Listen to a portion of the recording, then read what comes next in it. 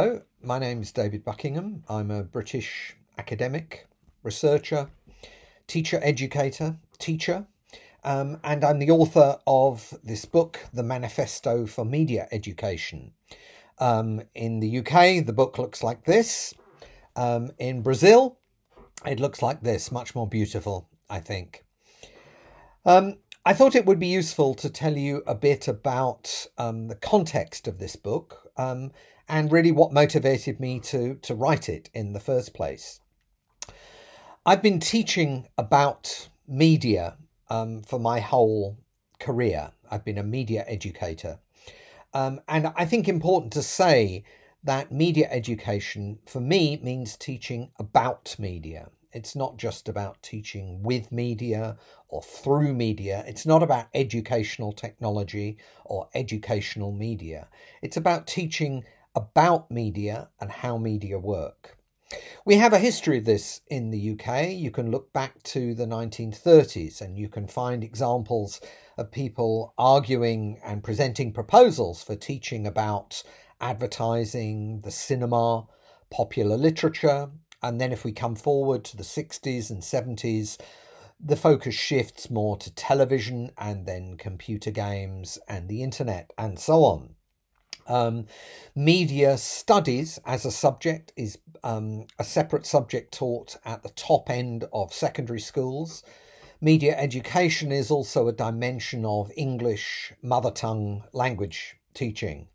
And I think important to say that media education is also both a critical and a creative endeavour. So it's about enabling um, students to make their own media creatively, but also enabling them to critically understand the media and how they work. I wrote the book really because at the moment I think we're rather on the back foot. Um, there's been a lot of talk um, uh, in the UK and I think internationally about something called media literacy. Um, a lot of that talk comes out of communications policy. And I think the sense is that it's becoming harder and harder um, to regulate media. So, what we need to do is to empower people to regulate their own use of media, to become informed consumers of media. Now, that's all very well, but frankly, I think a lot of it is just talk. There's a lot of hot air. And if we really want to have media literacy as a basic entitlement for the population, we actually need media education. We need there to be sustained, systematic programs of education happening in schools and in other education institutions. There's been a lot, obviously, of emphasis on technology in schools, but my feeling is that a lot of that is quite instrumental. It's about using computers and other um, digital devices as tools for teaching.